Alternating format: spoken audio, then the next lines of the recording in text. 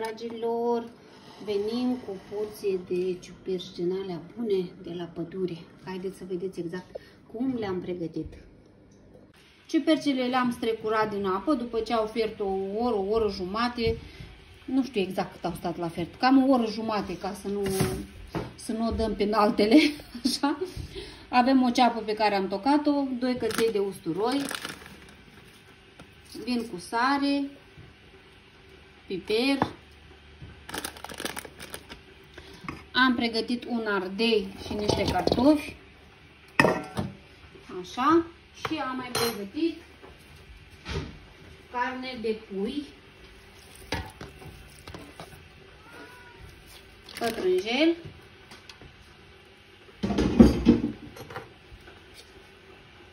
și vin cu smântână de gătit 200 de grame.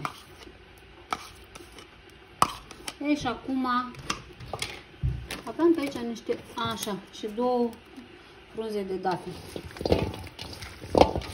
Și toată treaba aceasta le împrietenim aici. Adică le amestecăm. Și cel mai bine se amestecă cu mâinile, dragilor. Știu că multe doamne nu acceptă această metodă, dar ce să facem, asta e, e cea mai, e cea mai bună metodă, cea mai sigură că toate ingredientele sunt amestecate foarte, foarte bine.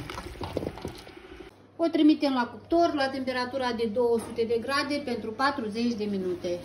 L-am scos din cuptor, l-am amestec așa un piculeț și le servim imediat. Mamă, dar ce aromă au, cât de bune sunt.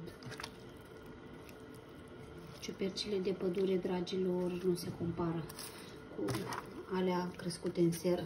Vecina mea mi-a făcut cadoul ăsta, a cules pentru mine.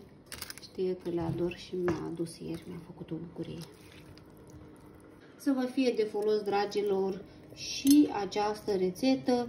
E o rețetă simplă, dar gustoasă. Știți voi, mâncare din aia gătită în casă. V-am pupat!